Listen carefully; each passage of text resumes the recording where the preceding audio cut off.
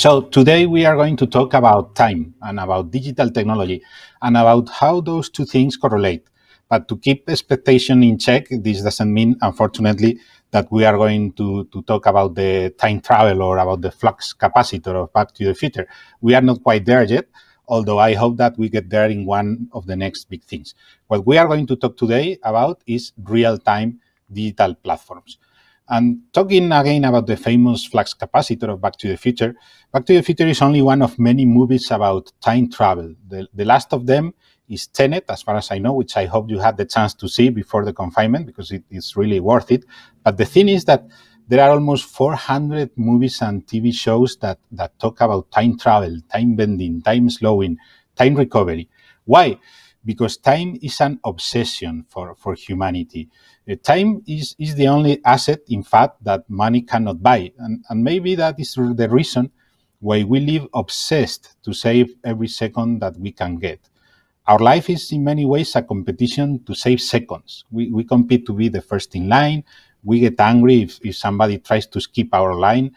We, we chase the bus arriving at the bus stop as is our, our life depending on, catching it, it's true, and get hugely frustrated if we lose it. And we are willing to pay hundreds of euros in fines or even to risk our lives just to save a few minutes driving our cars. So we live in constant competition to save time. The, the delivery time is the most important value after cost of almost any product or service that we buy. That, that's correct. No, but the funny thing is that for some reason we have accepted, we have come to terms during years that these rules don't apply to the digital world for some reasons. During years, both providers of digital services and, and we as users have gotten used to the fact that online services are slow, are, are asynchronous, and there is no way to expect from an online service the same kind of response in terms of time that we get in real life. There is no way to expect real time. And when you think about it, in fact, uh, the opposite should be true, shouldn't it? We, we should demand from digital services more efficiency than, than in real life, because if you take out the human interaction factor, everything should be more efficient. But as I say, the reality, in fact, is different or, or has been different during the last few years.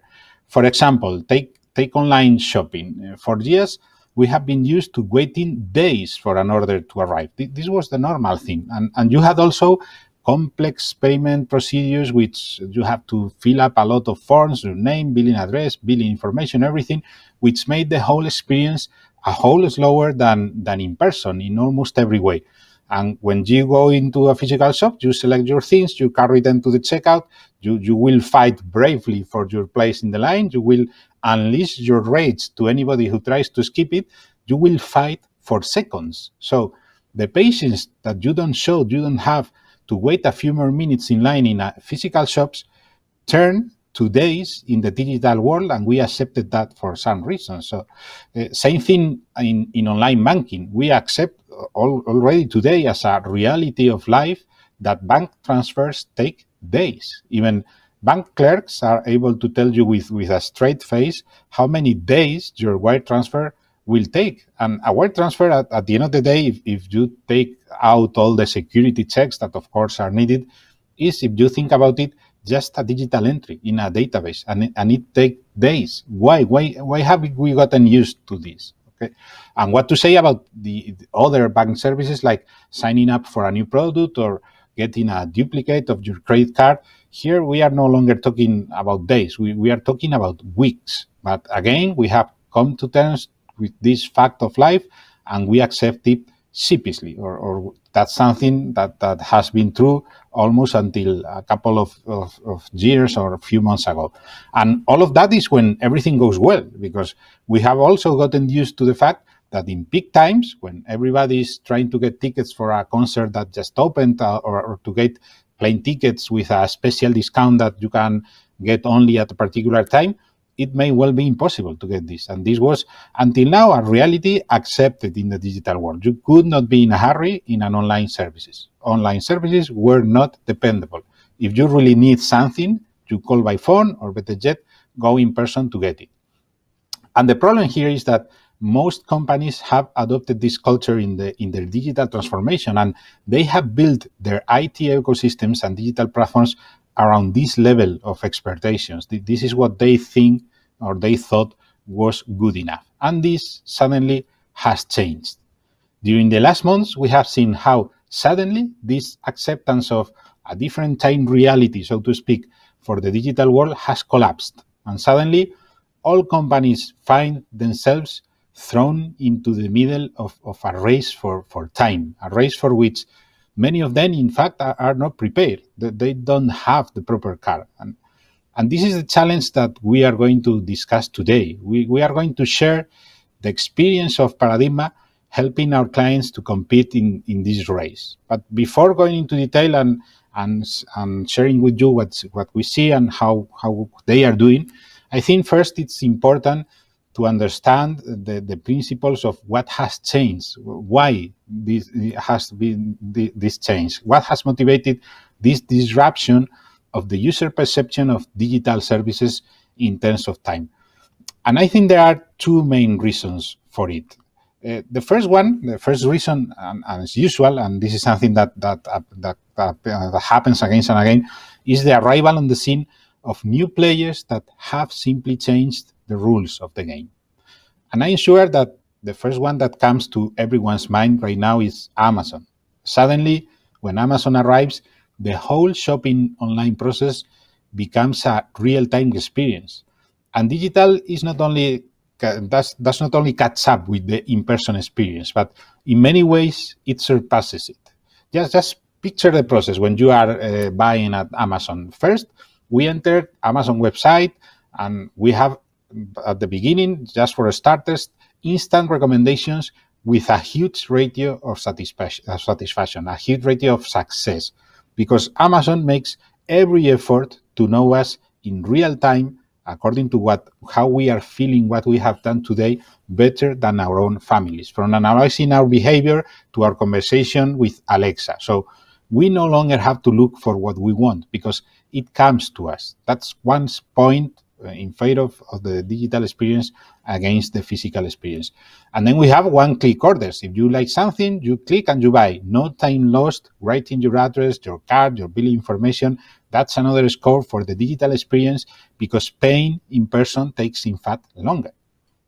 And we finally have the delivery itself. The delivery is so fast and so efficient that, as they like to say, uh, by the time you take an Amazon delivery off your porch, walk into your home, open your box, you've already spent nearly as much time handling the packets as all Amazon employees together. This is efficiency.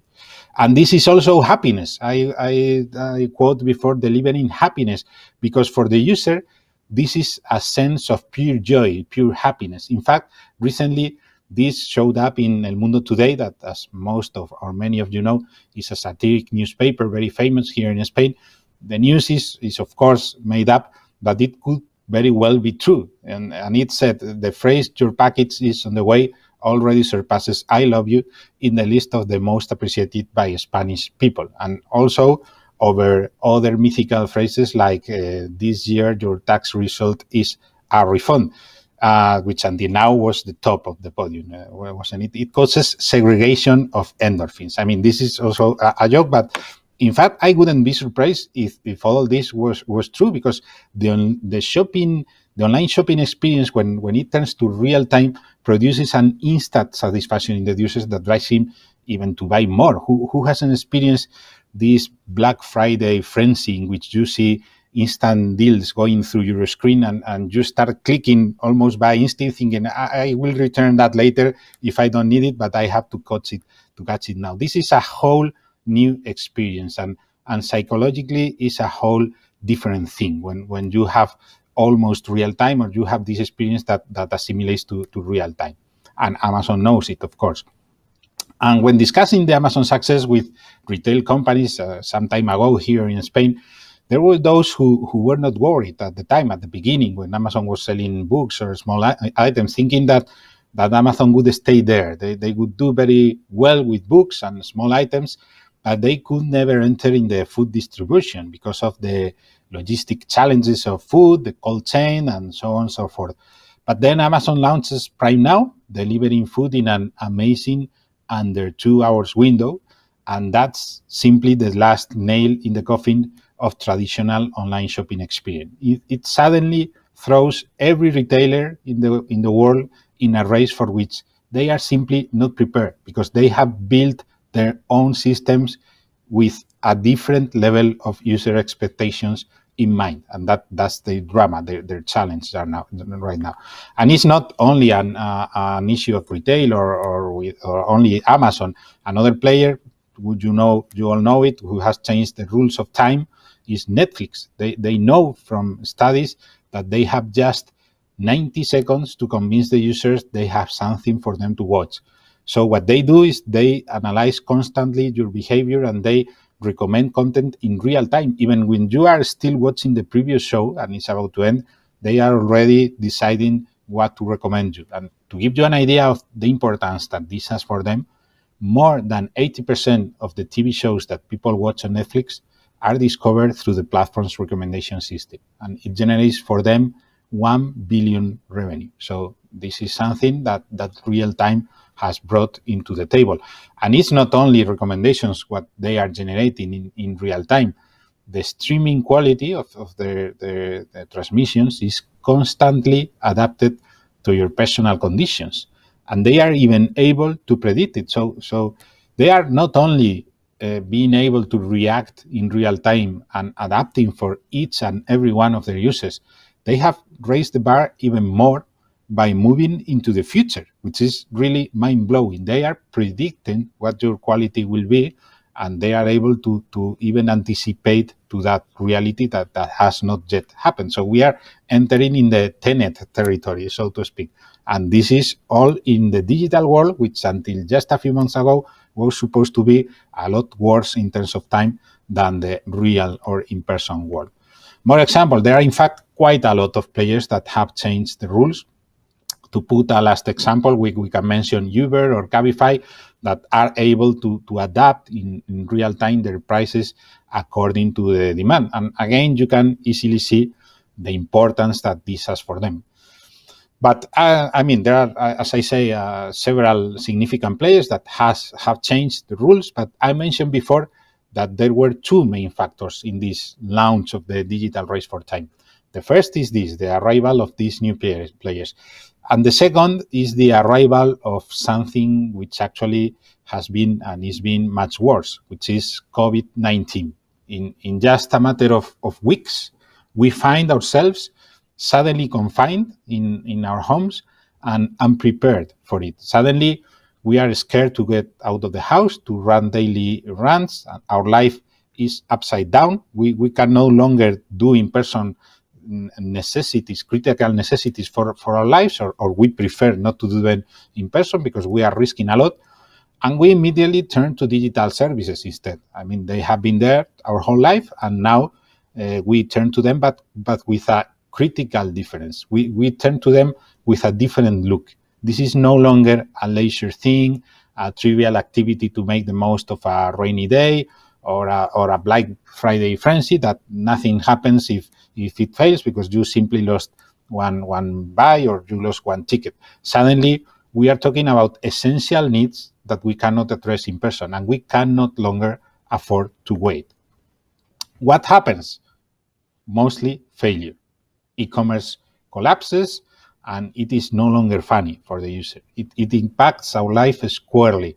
We find ourselves, and I don't know if it has been your experience, it has been mine, setting our alarm clocks for three or four in the morning in the hope that we can get an order through the system and avoid the competition of, of other users. And as our frustration as, as, as user grows, our expectations have been changed forever because there are those who come up to the challenge and, and answer to those expectations. And once you go to that road, there is no coming back. In fact, uh, the result is that we no longer accept waiting. And this has been a, a very quick change in a matter of months or, or at most uh, uh, one year or something like that.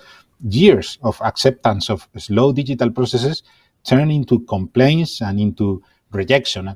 Take, for example, the the US the US election. This is a I don't know a, a, a historic process, a centenary process. For years, decades. Votes votes have been counted during days, and they have like a fixed uh, period of time for everything.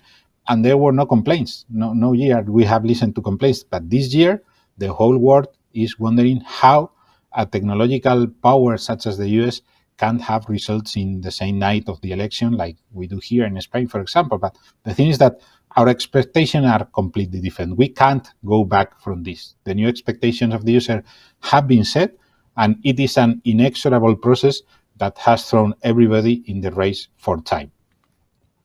So, what to do about this? We, we, we for starters, can take a look of, about uh, of how these new players are doing it. Some of them are digital natives. For example, Google has been doing this for years. I, I always tell the story, true story of how 15 years ago, when I was trying, or maybe I was trying to sell some application to a client, they would say that that's all great, very good, but I want it like Google, that is able to autocomplete what you are trying to write in real time.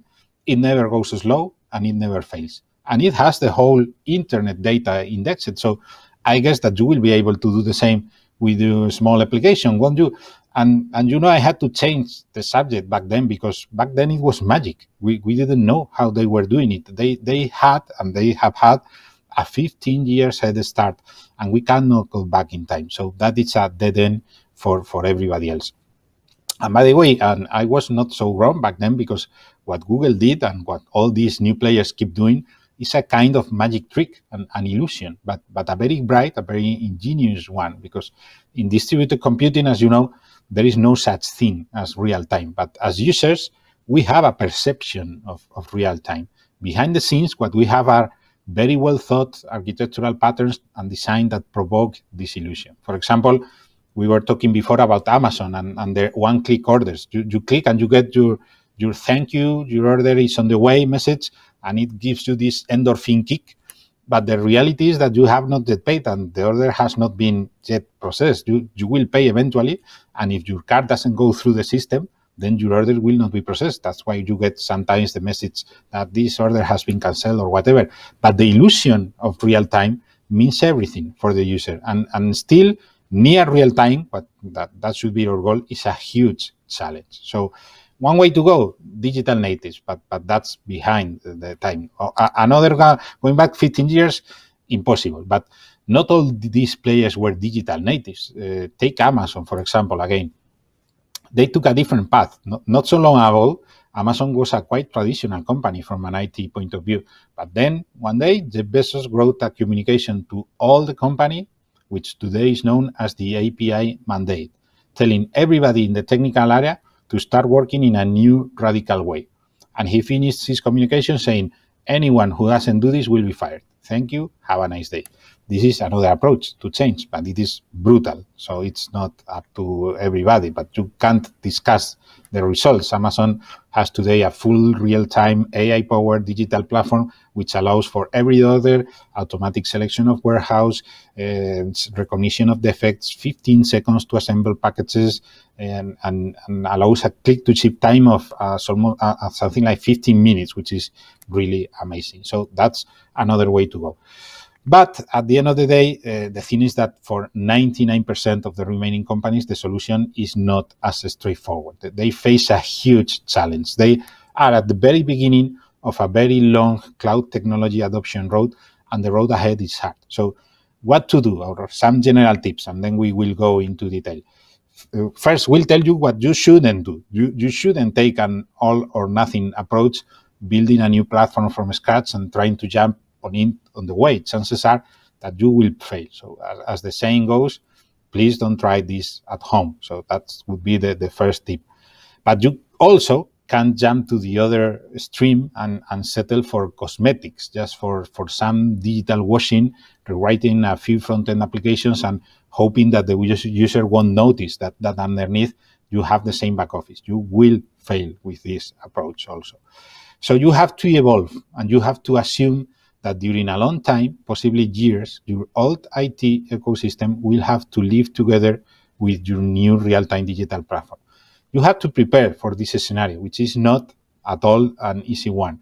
And at Paradigma, we, we have been helping our clients in this process for quite some time now.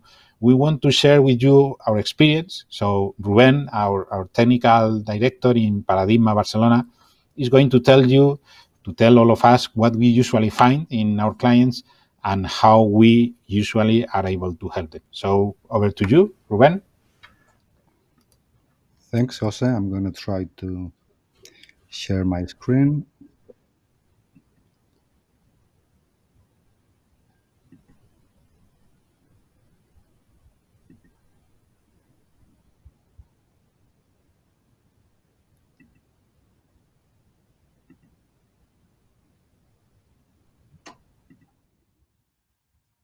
Okay, so I suppose that.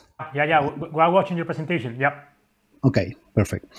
So, as Jose has said, uh, before uh, helping customers, we first need to have a look at uh, how things are standing. So, we are gonna have a look at how things are standing and how did we get there. So, at the beginning, things uh, for all systems are easy. So you start with one big monolith, maybe a mainframe, and all applications and processes are built against this system. Uh, here, what is written into this single database uh, is immediately available to, to read. So you put things in, you get things out. Uh, basically, this is real time. So at this stage, users are happy, you have real time, and, and things are really simple but as everything in time uh, as everything in in life uh, gets uh, things always get complicated. So normally you never can do with only one systems. You need to grow. So you need to add more systems into the picture. Maybe a crm and a specialized erp a data warehouse. Even maybe your company acquires another company and you need to integrate new services so basically, the more systems you integrate, the more complicated things get. For every system you need to integrate, you need to develop integrations for all the remaining systems. Basically, this means that uh, the growth of uh, integrations is exponential. So, uh, one uh, try and tested uh, way to integrate these systems is uh, batch processes. So these batch processes basically are a process that runs at, a scheduled time, normally at night, and uh, you update systems. You move systems for uh, move data from one system to the to the other. But at that moment, something happens, and users begin to get data that is not real time anymore. The data is outdated. So processes are not real time. Basically, what uh, the user is reading from the systems, what the user is getting out from the system is yesterday's data. It's not uh, data from, from today. It's not fresh data. As Jose said before, a very common example are bank transfers. It takes one or more days at least in Spain. Uh, in Spain, it's like that. I used to live in the Netherlands, and it was uh, it was uh, the same day. But in Spain, uh, we need to wait some a little bit more. So you need to to perform a bank transfer. You need to to wait some days one, uh, two days. And basically, this is a limitation generated by the technology. This is not something that is, should be like that because uh, there's some uh, inherent uh, limitation. It's just the technology we are using. Even the, the funny thing here is that even the customer support of banks is aware of the of this schedule process. So normally, if you call a bank because you are worried about some transfer that is not getting there, they know what time the process is uh, is gonna run, and and even at some banks they even know the strange name of this process. So it's it's something that uh, we've got used to, and uh, and it's a little bit frustrating, but but yeah, it's the way it is. A good measure of the prevalence of a technology in general is the market of tool around this technology. If you look, for instance, at the if you do a, a, Google search for ETL, you'll see that is a, a, a whole lot of, of tools uh, that uh, related to these uh, to these ecosystems. Basically, all the big um, database builders and even cloud providers have some kind of tool related to ETL. IBM, Oracle, Amazon, Azure, even the, the popular development framework Spring has the, this Spring Batch library. So, so with this, you can see that the prevalence of this kind of tools at company is really, really, really big. So also one um, uh, one uh, important thing is that the, most companies, the proportion of online versus batch processes, these these processes that are hidden, that run in, in batch, that run normally at night, is like an iceberg. So most of the logic of, of companies that uh, a lot of time is integration between these these systems is executed at, uh, as batch processes that are scheduled to happen at a certain time of the day, normally at, at night. So as an example, we had a customer who had more than 14K daily scheduled processes to manage the integration. So it's 1400, uh, sorry, 14,000. This is a lot of processes. This uh, not only affects the obsolescence of data, so this uh, not only means that you are not going to get fresh data, but also uh, this also adds a lot of problem uh, related to data governance. This this data is really difficult to manage. Is uh, this all these processes for this fourteen thousand is just almost impossible to know what they are doing. So uh, even with all these problems, all these uh, these delays and this uh, this problem with with this governance of the uh, of this these processes all this data just going in and out. Companies have felt comfortable for years working with this kind of technology because basically if it's working don't touch it so uh, the problem now, as Jose said, is that suddenly they need to fight for survival in this race of time, and they are in a tough spot. Basically, the, the these uh, these big tech companies like uh, like Amazon, like Uber, they have raised the bar uh, really really high. But uh, they are good news.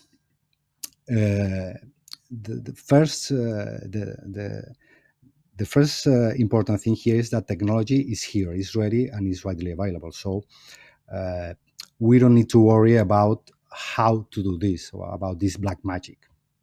So even though real-time platforms are something new and are a big paradigm change compared to the to the more static world that we are used to work with, uh, it can be a little bit scary. Again, if you look at the market as an indicator, as a thermometer, we can see that the main tech players have introduced into its tech stack some, time, some type of real-time platform. And even uh, even better news is that a lot of these platforms are self-managed. Uh, that is a fundamental step for the adoption of this type of, of platforms because these uh, these platforms are really complex to manage. So unless you have these self-managed platforms, the, the adoption is going to be really really tough. So in the first place, we have Confluent Cloud offering a self-managed Kafka platform. Uh, also, the main cloud providers have their own uh, are even event streaming platform available as a service. Kinesis for from Amazon, PubSub from Google Cloud, Event Hubs from Azure. We also have streaming frameworks that allow to change data uh, in real time, like Kafka Streams, Pulsar, Spark Streaming. And another really important piece uh, in this puzzle is this open source ecosystem of change data capture. Uh, we'll talk uh, later about this, uh, what change data capture is. But basically, uh, what C- change data capture allows, or ch- change data capture CDC, it allows to connect your database uh, system to an event platform. So you have these CDC connectors from Red Hat. This is a project called Debezium and and this is a really really amazing project that uh, is a is a really is a facilitator of this kind of technologies. So I've only shown you a small sample of, of all the of all the, the existing uh, platforms and tools related to real time platforms, but in general, this is uh, all these technologies are a really good indicator of where things are going in the next years regarding uh, real time. Just a quick note for the sake of this talk, when I talk about real-time platforms, I'm talking about systems that allow the integration of data in real time. I also will refer during this presentation as streaming platforms or event platforms. is is the same. Another really important piece is uh, is the availability of high quality training resources related to the fundamentals of, of the design and development on this of this type of platforms of, uh, as we I said before, event-driven systems, real-time systems, are a complete change of paradigm from the, the more static world of databases and, and batch processes. So not so long ago, they were a kind of, of black magic, even scary. You have all these events moving around in real time. You need to handle to handle errors. You need to make sure that all messages arrive to the to the target system. You need to care about scalability, replication. So it's a lot of things to take into account. So today we have a lot of literature based on real use cases and best uh, practices on how to design this kind of, of architectures. Also, these resources are really high quality and in a lot of cases are even free. The, the, the three resources, these three O'Reilly books are, are free. You can just uh, search Google and, and you can down, download it for, for free. So it's really amazing that all these uh, these resources are, are spread and they're uh, available for free. So uh, this aspect is for me is key for the wide adoption of event-driven architectures. Uh, technology is necessary, but it's not sufficient. So things like Apache Kafka, Confluent Cloud, Kinesis uh, are not enough. You also need to know how to use them, and, and you need to to have all this uh, all this training, all these all these materials uh, available. So we are going to have a really quick look. So this is uh, even even streaming platforms are really complex, but I'm gonna I'm gonna uh, simplify them a lot so that you can all uh, get a picture of what they look like. So uh, I'm gonna focus on Apache Kafka as an example because it's the more mature technology for for implementing this kind of, of architectures. But all the concepts you can apply the same for to Kinesis, PubSub, etc. So the main concept you have in an event real in an event driven real time architecture is the event log. Event log, if you look at the picture, is this kind of uh, this kind of of queue. So you have like this kind of uh, uh, this time picture. So you have uh, on top of the time uh, arrow, you have uh, this kind of, of queue. Uh, and basically, what the event log is is uh, is like a, the text log that you have in every application, but with structured information. So in the in the log that you have in application, you have something like a date, and then you have some kind of text message. In this case, uh, this kind of log is a little bit more uh, more complex, and you have some kind of structured data like uh, an order, a user, etc. Basically, uh, something that comes from a database. Uh, a log is a really simple data structure, and the thing is that it's really, really fast because the only thing you can do with it is to append data. You cannot delete, you cannot uh, update data. The only thing that is that you can only add data at the end of it. Uh, and this makes this kind of a structure really, really fast.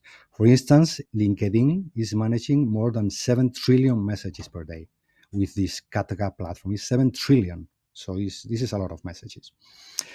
Uh, okay, we know what a log is, so let's go with events. Events is basically something that has happened, like an order has been created, a user register, a movie watch it, etc. Something that that has happened. And uh, if you look at the middle, uh, basically, so you have the, the event log, you have events inside this event log, but you need to get events inside this event log and then you also need to be able to get the events out. So for this you have producers.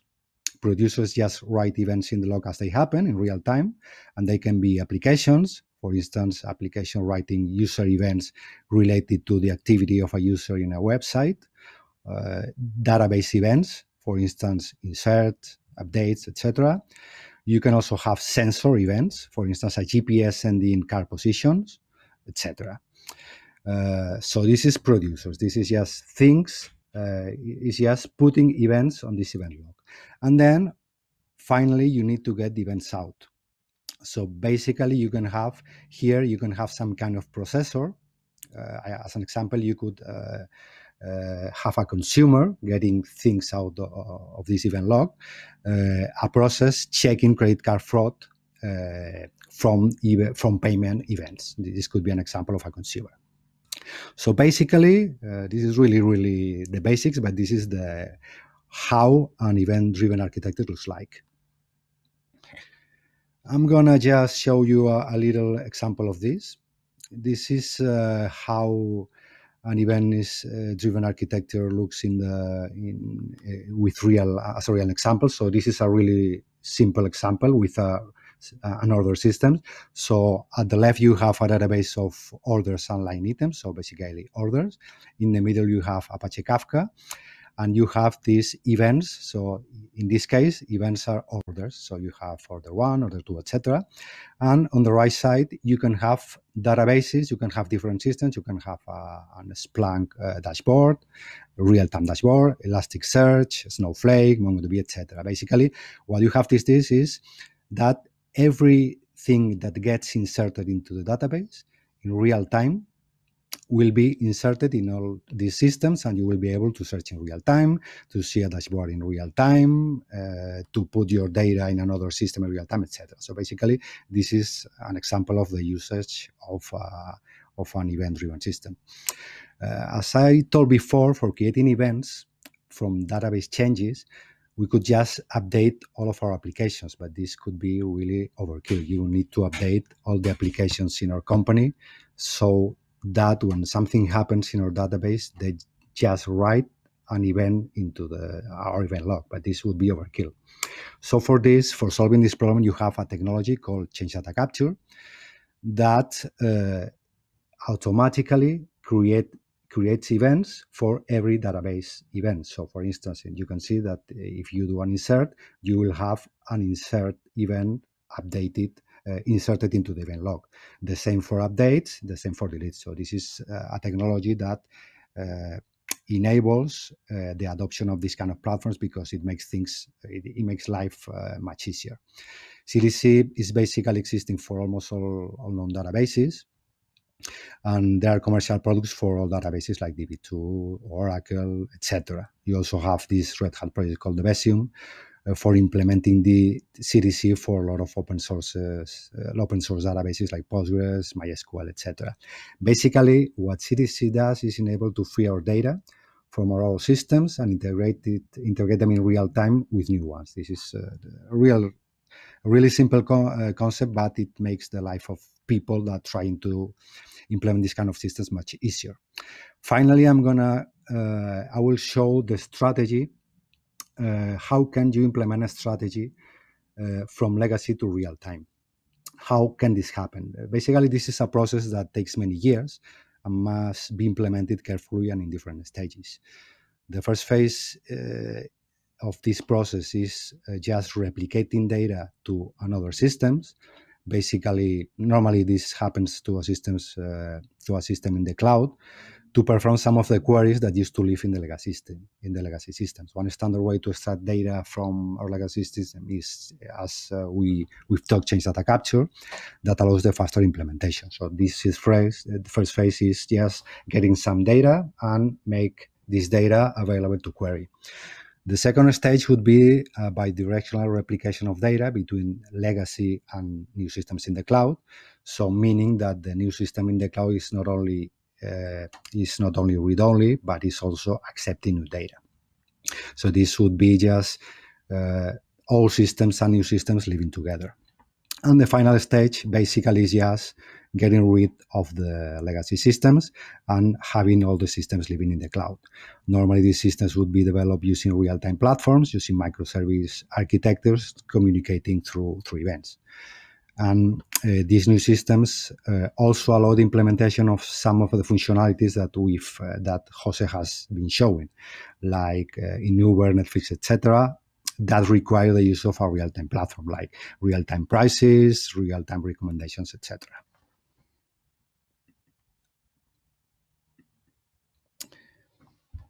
Jose. If, if we if we have to summarize, uh, keep this message: the world moves in real time, and it is time. It is high time, in fact, that your digital platform follows. So, at Paradigma, we will be more than happy to help you because that is what we do best.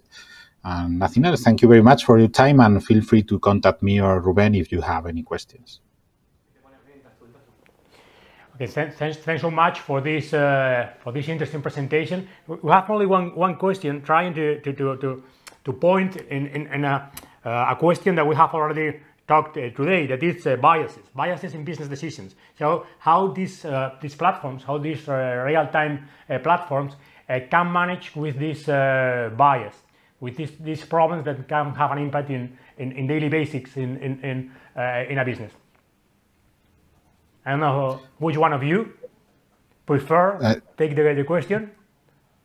Rubén, you want to take it? Or yeah, yeah. Basically, what we have uh, take into account that uh, real-time platforms are uh, are there just to uh, to transmit events to to is they are like a pipeline. So basically what they are doing is just you are connecting a pipeline to, to all your systems. Basically you can use these systems among other things you can use for just integrating with new systems with uh, you can also create dashboards indexing services etc and of course one of the systems that you can integrate these uh, these platforms is with uh, artificial intelligence.